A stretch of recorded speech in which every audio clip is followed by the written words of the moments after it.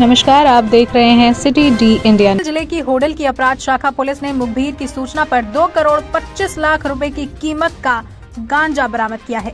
Delhi police के ASI समेत छह लोगों को गिरफ़्तार किया। ये गांजा उड़ीसा से ट्रक में भरकर मेवात में बिक्री के लिए जा रहा था। इस ट्रक की राइडिंग दिल्ली पुलिस के स्पेशल सेल के एएसआई कर रहे थे, जो मुख्यमंत्री की स्पेशल सिक्योरिटी के जवान हैं। पुलिस अधीक्षक राजेश दुग्गल ने इस मामले का खुलासा किया। गांजा तस्करों ने नारियल के नीचे गांजा छिपाया हुआ था। देखिए, आज हमारी जो सी होटल है और ये हमारा narcotic cell anti narcotic cell का भी ये काम करते हैं। तो हमारे इंस्पेक्टर हैं जगजेर सिंह। उनकी टीम ने आज ये बहुत बड़ी कामयाबी हासिल की है। इसमें आज हमारी सी की टीम ने सुबह सी एक ही नाका लगा के सीक्रेट इन्फॉर्मेशन पे नाकाबंदी करके, और इससे करीब कोई तेरह क्विंटल 69 किलोग्राम 75 ग्राम। तो ये तेरह क्विंटल उनहत्तर किलो, पचहत्तर ग्राम गांजा बरामद किया है। तो नियम अनुसार हमने इसमें कार्रवाई की, ड्यूटी स्टेट को मौके पे बुला के, नायब तहसीलदार थे हमारा संजीव नागर, उनको मौके पर बुलाया गया। उनके प्रेजेंस में नियम अनुसार इसकी कार्रवाई की गई है। तो इसमें छः लोगों को अरेस्ट किया है, जिसमें एक गाड़ी गणना जो इसकी पहले आगे पायलट कर रही थी, इस ट्रक की, और चार लोग उसमें थे, और ड्राइवर कंडक्टर उसमें ट्रक में उन छः लोगों को इंटरसेप्ट किया है। तो इनके कब्जा से ये भारी मात्रा में गांजा बरामद हुआ है।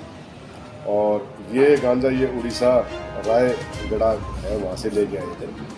और आगे ये मेवात में जाना था तो यहाँ से ट्रांजिट था। तो उस इन्फॉर्मेशन में हमने इसको राउंड अप किया है।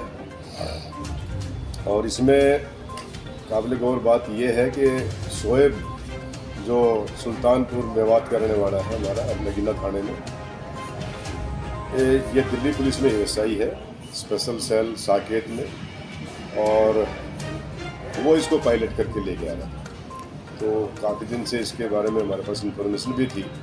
अभी ये एन डी के काम में इन्वॉल्व है।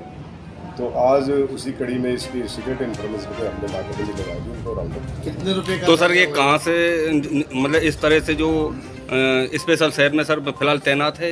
हाँ स्पेशल सेल में इसकी पोस्टिंग है हमने पता किया वहाँ से इसका। तो कितनी कीमत का होगा सर ये गांजा इसकी आ, आज के दिन मार्केट वैल्यू जो सवा दो करोड़ के करीब इसकी वैल्यू है जिसमें फोर्टी फोर बैग जो गांजे के मिले हैं और डायरेक्ट ये उड़ीसा से ही सप्लाई हुआ है।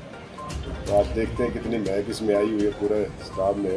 आप भी देख रहे हो कि प्योर इसमें है और इसमें बाद में ये मिक्सिंग करके आके सप्लायर इसमें बेचते हैं। तो सर ये जो आरोपी पकड़े कहाँ कहाँ के रहने वाले क्या क्या इनके सभी के नाम? एक जुरेडा का रहने वाला है मोहम्मद पुत्र अब्दुल्ला। बाकी ये सारे मेवात के रहने वाले हैं पाँच लोग। ये एस आई भी मेवात का है।